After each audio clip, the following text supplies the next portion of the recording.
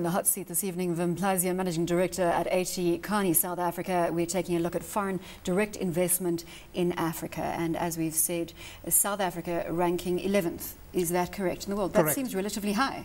It is high, but you have to take into account we did a confidence index. So we interviewed 200 executives worldwide from uh, a, a, wide series of industry sectors in 27 countries um, and asked them where they would think what, what gives them most confidence from an investment perspective in countries.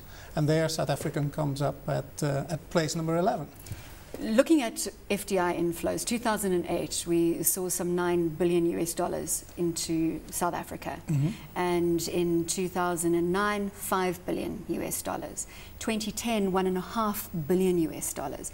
So they're not putting their money where their mouths are at the moment, are they? You need to look at this in relative terms. Overall, the foreign direct investments has gone down globally due to the, uh, the, the, the crisis in 2008. So we're still, let's say, the economy is still picking up and investments foreign investments are still picking up as well.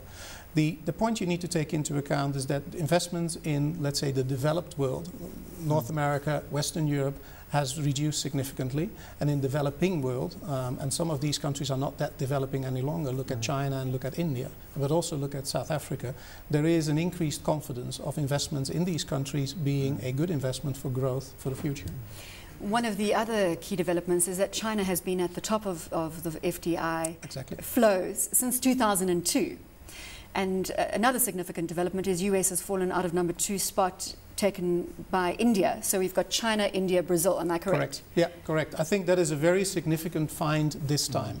What you see is that uh, the US has dropped significantly from place number two to place number four. Uh, the top three is now China, India, Brazil. 11 is South Africa, um, 12 is Russia, Vietnam is following. So you see that the, the, the new countries, let's call it the new countries, the new economy countries, are basically taking a larger part of uh, foreign direct investment. Wim, what do they look for? You know, what criteria do they look for from an investment point of view? The First of all, they, they look for growth. And if you look at the investments, particularly in South Africa, they are, of course, resource industry mm-hmm. related. Mm. Um, that is clear. But they're also related to the increase in the, um, in the, in the consumer uh, population. So we see more and more in South Africa and in other countries in Africa as well mm. that uh, consumer spending is going up. Mm. Hence, companies like Walmart step into the market because they believe they can grow here.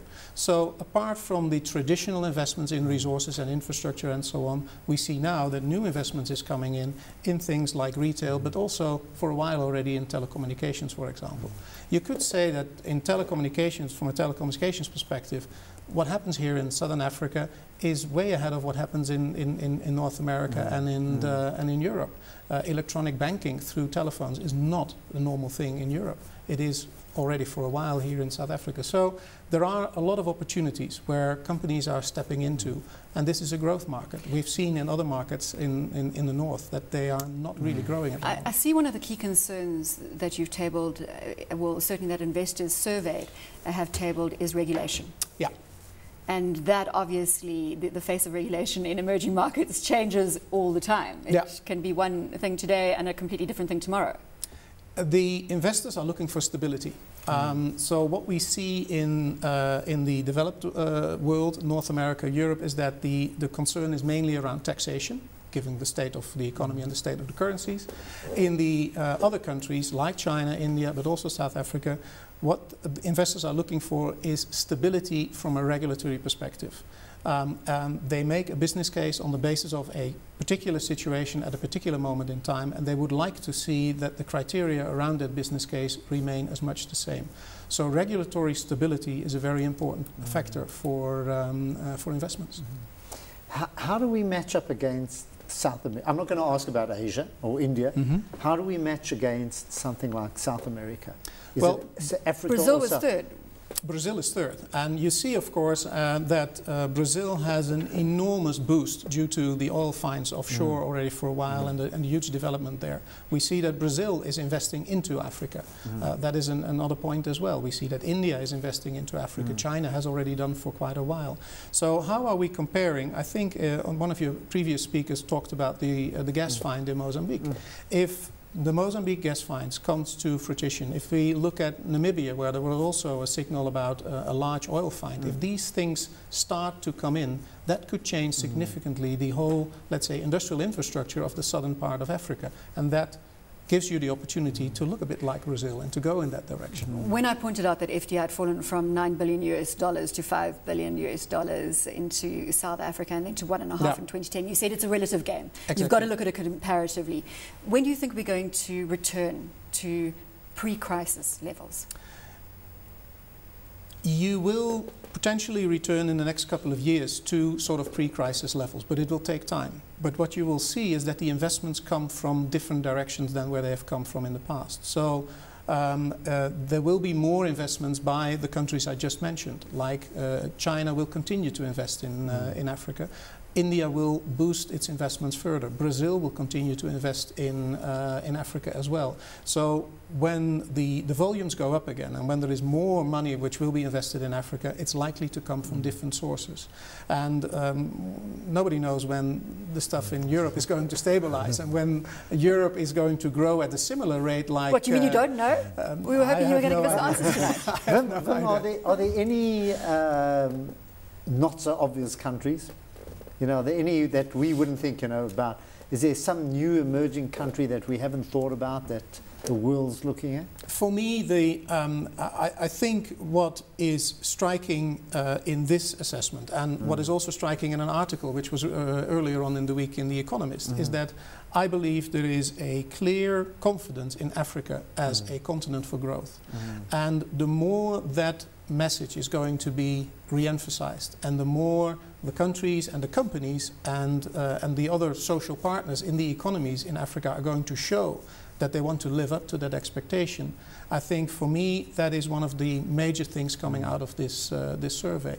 Um, South Africa should be proud that it is at 11th place, but it also uh, creates expectations uh, to make sure that you stay at the 11th spot in, uh, in this uh, benchmark, or it's not really a benchmark, it's a confidence index. So I think for me, the most important thing which comes out for me is indeed that um, Africa is recognized as a destination for investments for growth. We haven't had the best news flow politically out of South Africa of late. Uh, and I go right back to the talks of nationalisation for some time. All these mounting concerns for, for FDI. Mm-hmm. What would be the, the caution you throw to the mm. South African economy, to South African politicians right now, holding a position in terms of 11th place where foreign direct investment is concerned is a weighty one. Mm-hmm. But how do we maintain that? Now, I'm not going to comment in detail on the politics in South Africa, so I will refrain from that. But if you look at what is what, is what, what companies are looking for, they look for stability. So that's point number one. So regulatory stability is a very important point. They're also looking for an educated workforce. So if we talk in, in, in South Africa about jobs, jobs, and jobs, we also need to make sure, um, and that's not only a government responsibility, but I think also there, uh, for example, the unions and the, uh, the companies have a, the corporate world has a role to play as well, uh, that the education system is such that it becomes even more attractive uh, to, uh, to invest in South Africa. So there are a number of things which need to be looked into, which make sure that productivity in the country goes, even, goes up and that it becomes far more attractive to uh, invest here compared to what it is now. And that will bring South Africa even higher up on the list. You satisfied, David?